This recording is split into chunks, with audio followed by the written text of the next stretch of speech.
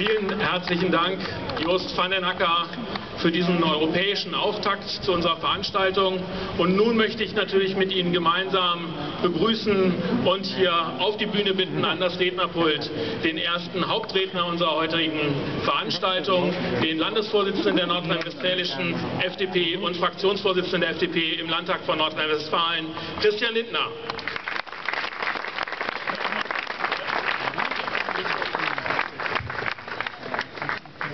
Meine sehr verehrten Damen, meine Herren, vor allen Dingen liebe Bürgerinnen, liebe Bürger. Jetzt geht's auf die Zielgerade und jetzt geht's ums Ganze. Am vergangenen Sonntagabend haben Sie gehört, dass Sigmar Gabriel gesagt hat, er wolle die FDP aus dem Bundestag rauskegeln, damit danach eine linke Mehrheit in Deutschland regieren kann. Das haben andere schon versucht vor Sigmar Gabriel. Kurt Georg Kiesinger und Helmut Schmidt. Und gegen die beiden ist Sigmar Gabriel wirklich ein Däumling, meine Damen und Herren. Wir wissen, es geht um was. Es geht um die traditionsreiche liberale Partei in Deutschland und darum, dass unser Land weiter aus der Mitte für die Mitte regiert wird.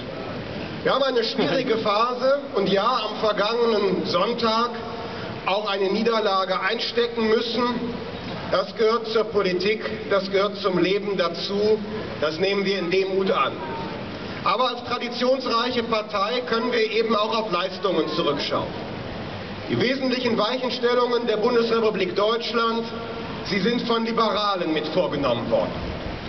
Für die soziale Marktwirtschaft, für die Öffnung nach Westen, für die neue Ostpolitik als Voraussetzung der Vollendung unserer staatlichen Einheit in Freiheit, die europäische Integration und auch das Ende der Schuldenpolitik, weil wir als freie Demokraten in unserem Grundsatzprogramm als Erste von einer Schuldenbremse gesprochen haben.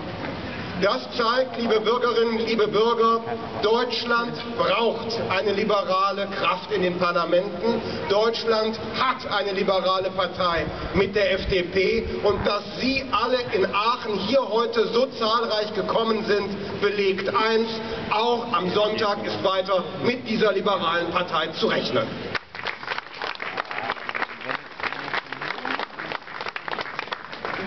Unser liberaler Nachbar, der eben zu Ihnen gesprochen hat, hat unterstrichen, dass nicht nur wir hier, dass nicht nur Deutschland auf den Sonntag schaut, sondern auch Europa schaut auf die Entscheidungen, die Sie, die wir alle bei der Bundestagswahl treffen.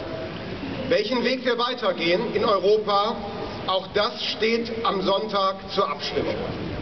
Wir haben nach 2009 Europa zusammengehalten. In der möglicherweise größten Bewährungsprobe der vergangenen Jahrzehnte. Aber wir wissen auch, dass es kein einfaches Weiter so geben kann. Aus der Währungsunion ist ein Schuldenclub geworden. Wir haben deshalb gesagt, wir sind solidarisch mit unseren Nachbarn, mit unseren Partnern in Europa, aber wir wissen auch, dass sie ihre Probleme lösen müssen dass die Strukturprobleme in anderen europäischen Ländern nicht mit deutschem Geld zugeschüttet werden können.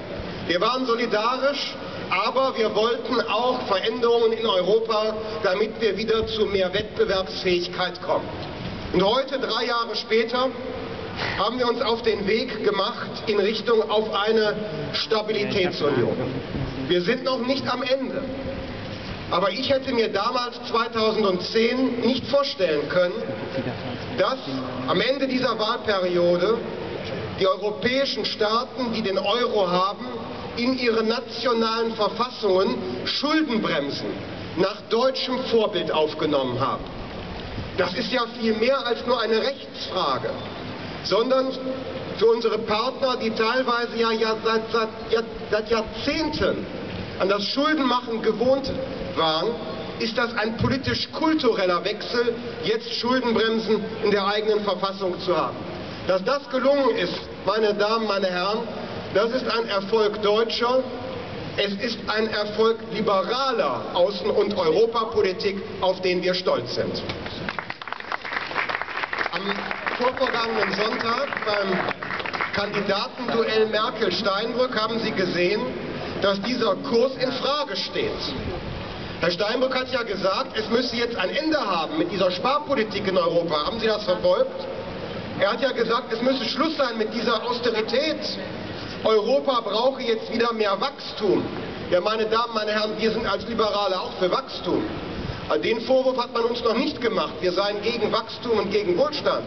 Wir verstehen darunter nur etwas anderes als Steinbrück, Trittin und Gysi.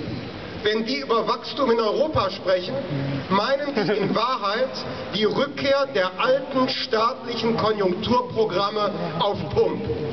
Die Rückkehr der alten Politik in Europa. Wir als Liberale in der Tradition von Otto Graf Lambsdorff wissen aber, der Staat kann Wachstum mit Krediten nicht kaufen. Er kann Rahmenbedingungen setzen, aber erwirtschaftet werden muss der Wohlstand von den Bürgerinnen und Bürgern. Der Staat kann mit Schulden nicht den Wachstumseffekt bringen, den ein Land braucht, wenn es nicht wettbewerbsfähig ist. Die Politik von Steinbrück und anderen läuft darauf hinaus, dass in Deutschland uns die Steuern erhöht werden, damit man in Europa wieder leichter Schulden machen kann. Man löst aber eine Schuldenkrise nicht dadurch, dass man das Schuldenmachen noch erleichtert. Dieser Weg, den die anderen wollen, er würde Europa nicht aus der Krise heraus, sondern im Gegenteil wieder tiefer in die Krise hineinführen. Und allein schon um Europa willen darf es deshalb in Deutschland keinen Regierungswechsel geben, meine Damen und Herren.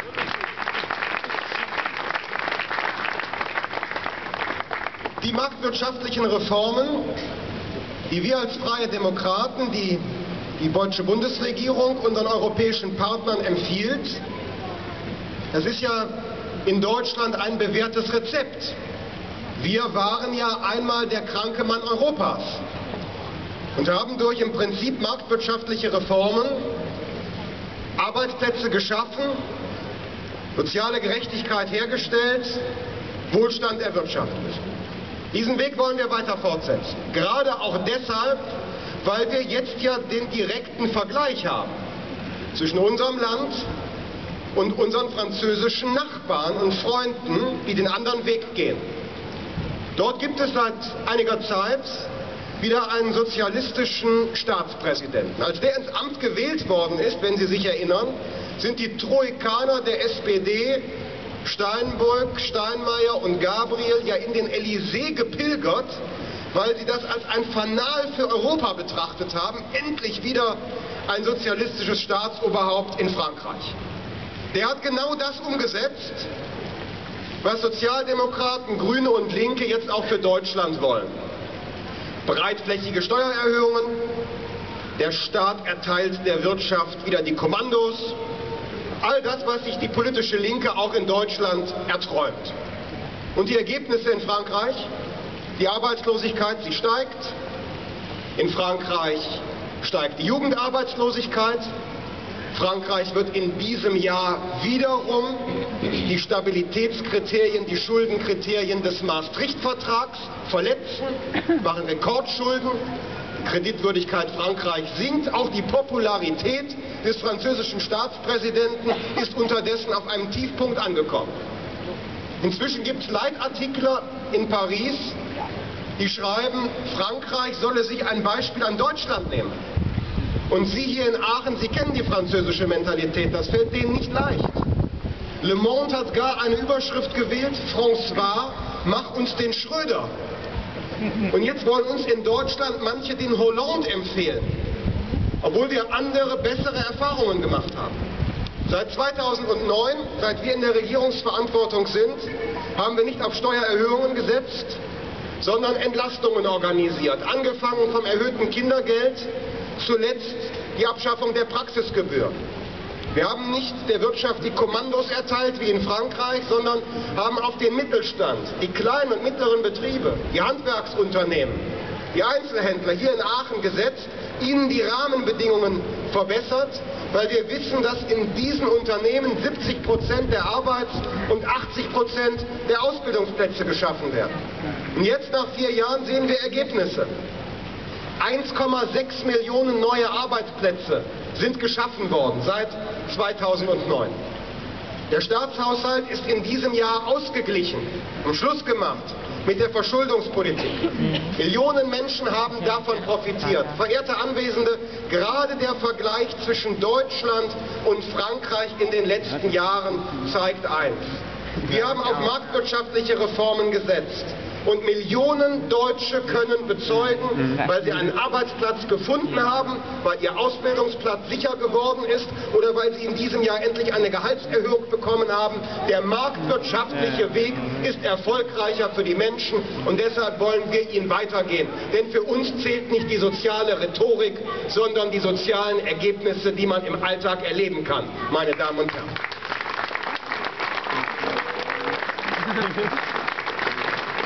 einem ganz konkreten Beispiel der Haushaltspolitik noch einmal verdeutlichen.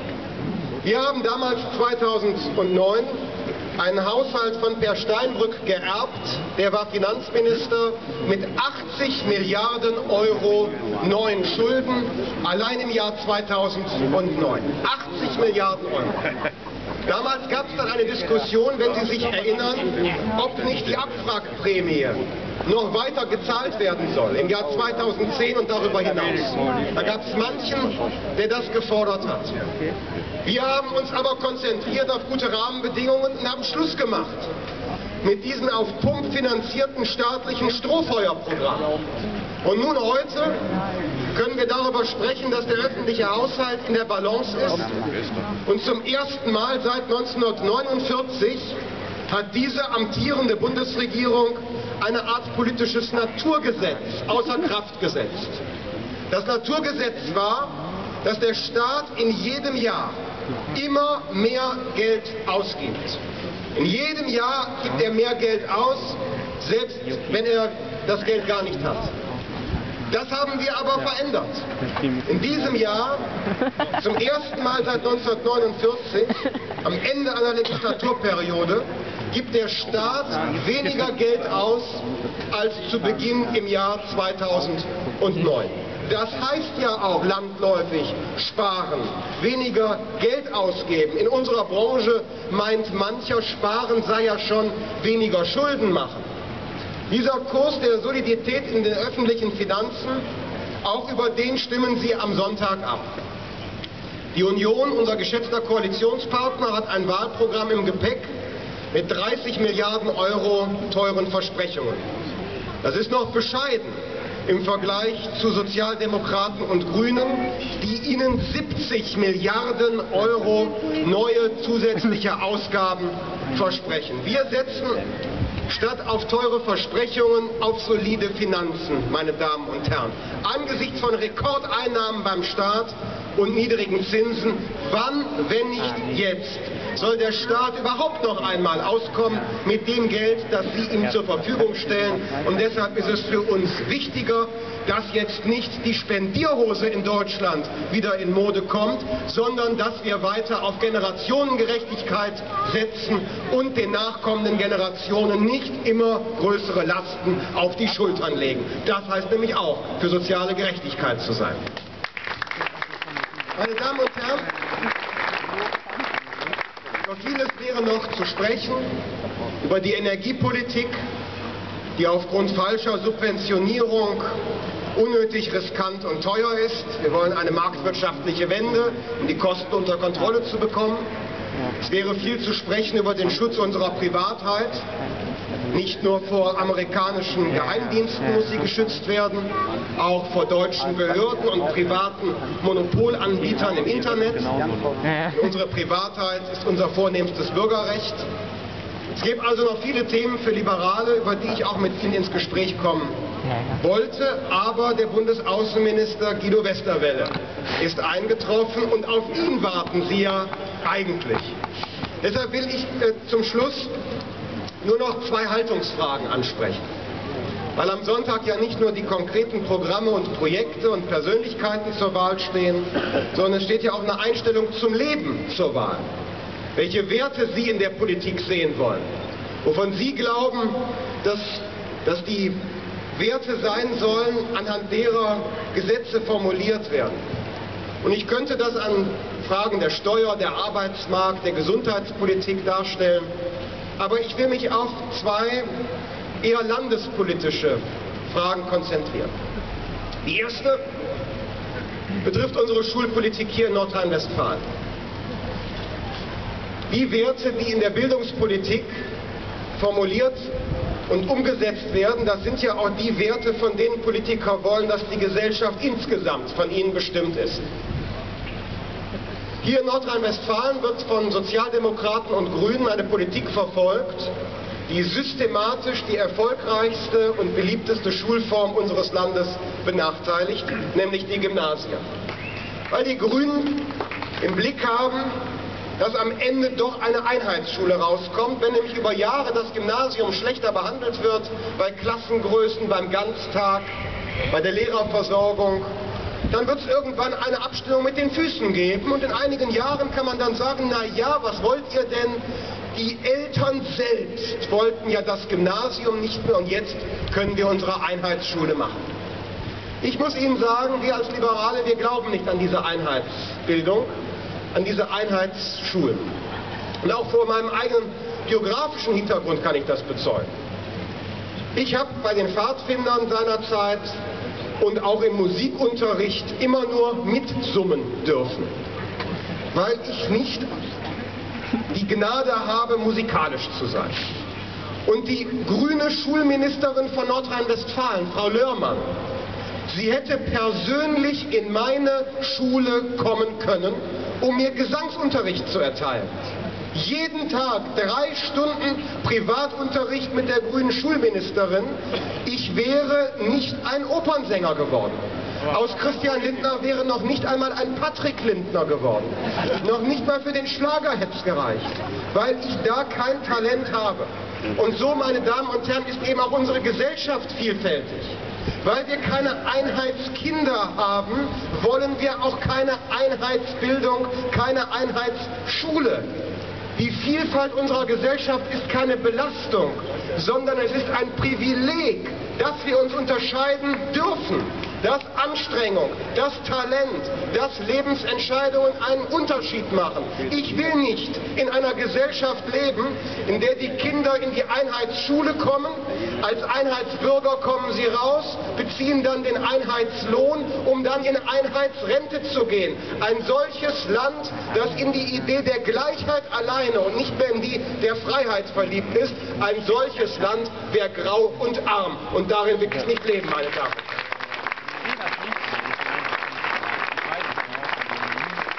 und die zweite abschließende Haltungsfrage betrifft die Art, wie wir eigentlich unser privates Leben führen wollen.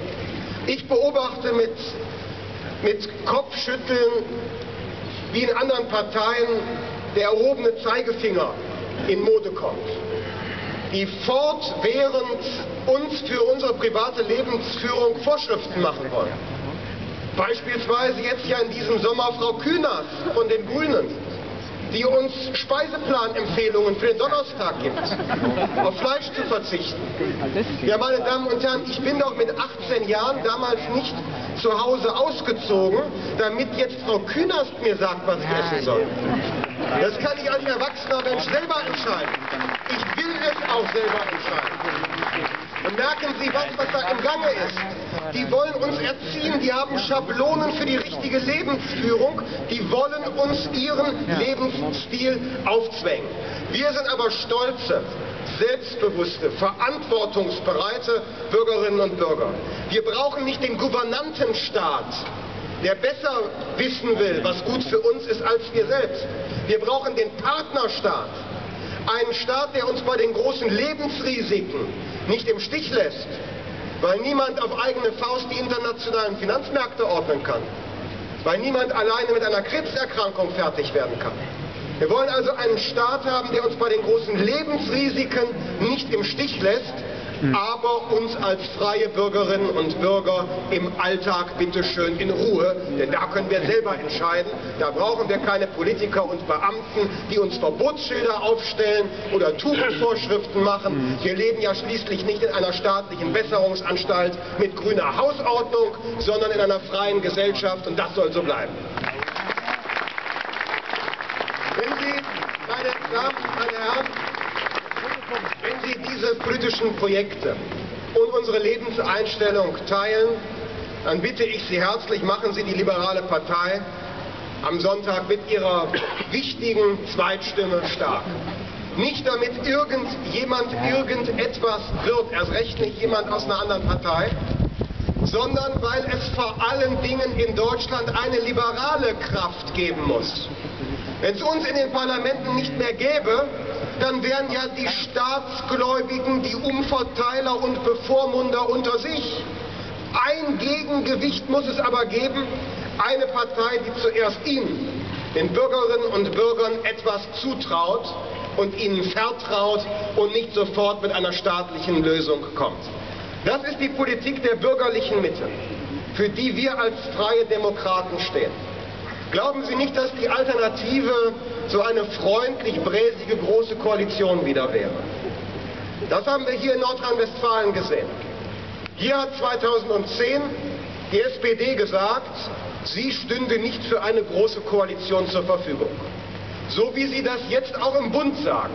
Und ich empfehle Ihnen, in der einen Frage nehmen Sie Sigmar Gabriel mal beim Wort. Wenn es keine schwarz-gelbe Mehrheit im Bundestag gibt, noch am Abend wird Gabriel erst über seinen Schatten und danach über seinen Kanzlerkandidaten springen und eine Regierung mit einem blutroten Stützrad der Linkspartei über kurz oder lang bilden. Dann bekommen wir die französischen Verhältnisse, vor denen wir unser Land, vor denen Sie unser Land bewahren sollten, mit Ihrer Zweitstimme für die FDP, für eine liberale Kraft auch im nächsten Deutschen Bundestag. Ich danke Ihnen sehr.